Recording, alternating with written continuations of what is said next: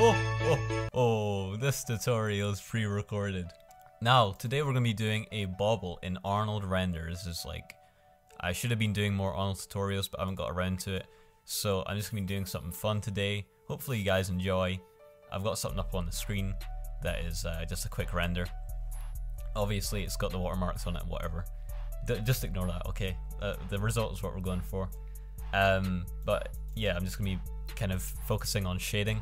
But it is the season of giving, so if you guys are interested, the Landscape Essentials is 45% off until January 15th. So it's just released.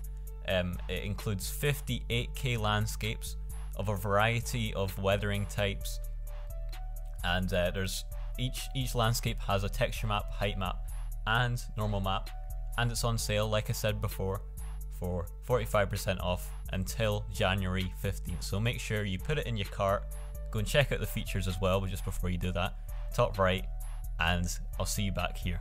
So now that plug's done, go and grab a sphere, um, and we're going to make it editable. So go into polygon mode, go to the top, and select the top of this, and we're going to drag this up a little bit. And um, I'm not going to be focusing on the model too much, but you know, it's pretty simple. So I'm just going to do a loop selection here with UL, and then we're going to do UP to make it, uh, to cut that bit up there. We can hide the original, go UL, and select, we're going to do, um, yeah, UL for loop selection, select 2 space, 2 space, until we get to the end. And then we're going to do UI to make uh, an inversion selection here and then we're just going to delete here and uh, now we're going to add some uh, cuts. So if I go J um, or KJ, go to plane mode, change that to world, and change the plane to XZ. Select this bit up here. Select, uh, in fact, we're going to do that in a minute. But basically, I'm going to select these points here. So just go around, select all the points.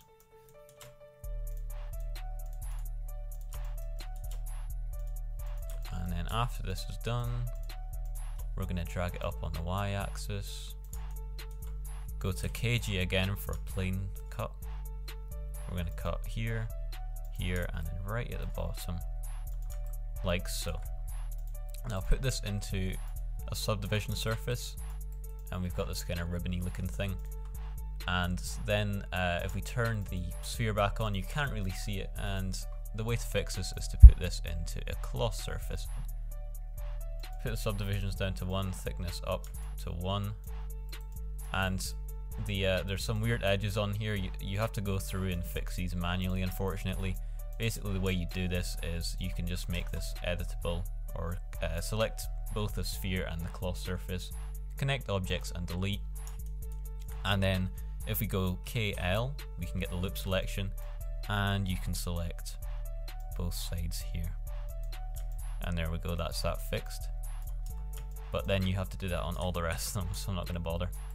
But um, yeah, also the top is looking a bit weird, but um, basically the way you'd fix that is by not deleting the bit past like here, like this circle here, you wouldn't delete this by doing another plane cut, but since I'm viewing it from down here, uh, I'm not too bothered about that. Uh, and we can also add a torus as well, so just go to our primitives, grab a torus, orientation on Z, drag this up, maybe do like one and a half or something on the pipe radius.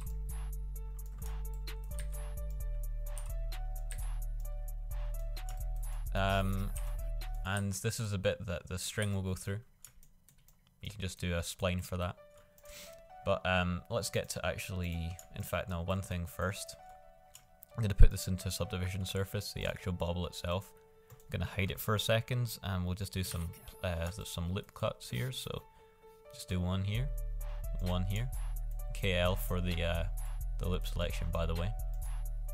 And then there are two up here. You could also bevel if you wanted. Check that back on, and there we have our nice subdivided bauble. And let's get to creating the the uh, shaders. So if I send this to the picture viewer, hopefully it doesn't crash. And a sky, and change the sky to a physical one. And there we go. We've got a nice sky here. Uh, if you want to get rid of that black uh, that black horizon line, you can just mess around with the coordinates until you get get it to work. And then I'm going to go and mess around with the elevation so I get the sun at the correct angle that I want. So just kind of have it as like a rim light of sorts. Alright, so let's go and create a shader. So go to shader and uh, Arnold surface, standard surface. Drag this onto our bauble. We're going to create the bauble texture first. So we've got our standard shader already in here and I'm going to go and turn the roughness on the specular up a bit and um, I'm actually going to turn the metalness all the way up um, something like that. Turn the uh, the weight on the base to 1 as well. And we're going to go into coat and this basically adds like another kind of layer of sheen which is uh, we're going to add the glitter to as well. Um, did I mention there's going to be glitter? Kind of excited about that. So now just move up the roughness on this to like 0.4 yeah it's looking nice and the IOR I'm going to move that down. Basically that just changes how visible I guess the uh, how visible from the edges it will be index of refraction um, to seven-ish. Okay. And now what we can do is start adding some color to this. So I'm going to add an IOR complex and I'm going to add some reds because what would Christmas be without uh, red and gold? So the reflectivity edge tint uh, we're going to change both those make sure it's on custom. I'm going to make this one slightly darker maybe even darker. And then we're going to duplicate this and I'm going to go and select the gold the standard gold click edit. This will allow us to change the color so I'm going to make it a really uh, strong gold we want a really tacky gaudy gold so then I'm going to create a mix RGB and we're just going to put these into the inputs. If they're the wrong way around, we can obviously just uh, change them around. But the mix on this is actually going to be a what do you call it? Uh, it's going to be a picture. So the way you can do this, um, so if you just look up floral, floral pattern seamless, we can get a bunch of nice looking floral patterns for free. Um, and ideally uh, you want it to be seamless and you also want it to uh, the, the background to be white and the foreground to be black which you can obviously do in Photoshop or Illustrator. Um, but I've already got one here so I'm just going to grab this and drag it in. So I've got a bunch of them. I'm going to use this one called alpha, alpha that I just named it alpha drag this into the mix and then we're going to preview this finally in our color and you can see that it's working, but it's the wrong, wrong, wrong way, the wrong way around. So I'm gonna actually swap these around, have the red as input two and the gold as input one, and now we have the gold as our floral pattern. And I'm actually going to change the UVs a bit. I'm going to scale down the uh, this texture on uh, X. It will be so like 1.3 or 1.2 or something like that. This bit up here is a bit is a bit too much uh, on the extrusion, but it's whatever. Also, um, you might want to change the mode to cubic. That might fix that issue up there, but projections in Arnold are weird, so might not fix it. Um, and also we're gonna have gold up there anyway, so that will distract from the bad projection. I don't like how the black's being like shown there. And I'm actually gonna put this back down to one. Let's see like 0.5. That's way too low. 0.8. Yeah, I think that'll do. Okay, and now uh, for the fun part, adding glitter. So um, we're gonna add another mix RGBA, and we're gonna put this into our coat roughness or coat uh, normal and our geometry normal as well. Put this into the mix. Make sure you have the latest version of Arnold. I actually started this tutorial and I wasn't using the latest version. Um, so yeah, that was not good. Um, and it's looking a bit weird at the moment, but it is working, it is projecting onto the bit that we want. You could even make the entire thing glitter, but I just think it makes more sense in this case.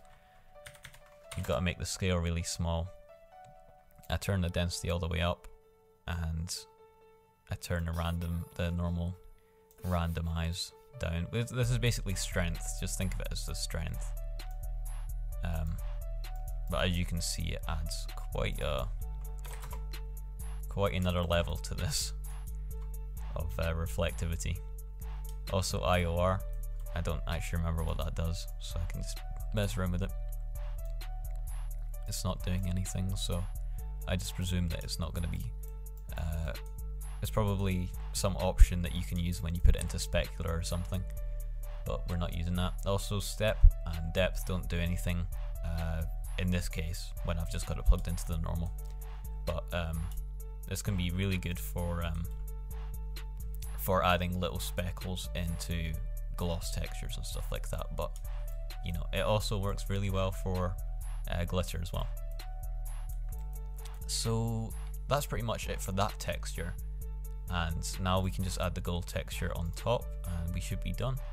So just going to create another standard surface. I might actually just copy over our standard surface here and cheat a little bit. Drag the output into the Arnold Beauty and drag this onto our top bit there. Just going to zoom in on it so we can see all the imperfections. And um, I'm just going to switch this to gold on the preset. and then we're going to bring in flakes because I want to add even more glitter but this time it's just going to be all glitter. Nothing's not, uh, no like inch of this is going to be spared it's just all going to be glitter. So normal coat uh, normal geometry. Scale this all the way down. Bring the density up and bring the normal randomness or the strength of the glitter down perfect Alright.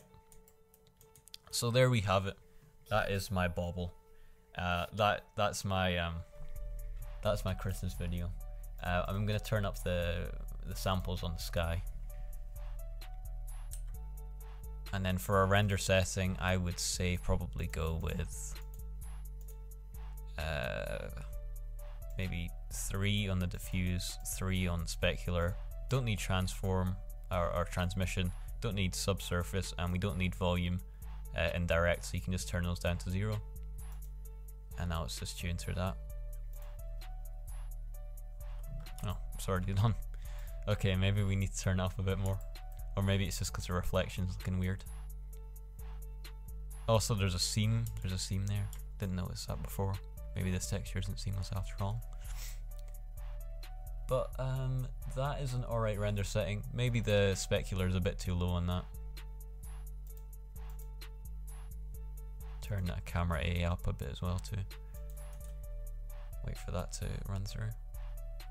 I really like how the it, it kind of looks the floral pattern looks separate because of this glitter, and also maybe the sca the scale is a bit too high as well. But um, whatever, whatever. Uh, you guys can mess around with that. So hope you guys enjoyed. Have a great Christmas. So um, yeah, thanks for watching. Remember to check out Landscape Essentials. It's the season of giving. Go and check it out. 45% uh, off until January 15th. And I'll see you guys in the next video.